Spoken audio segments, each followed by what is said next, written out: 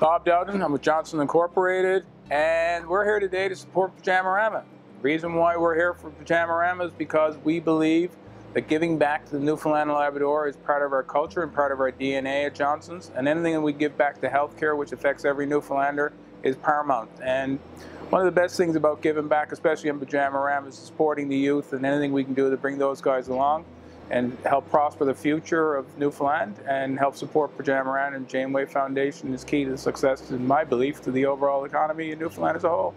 So thank you very much and have a great day.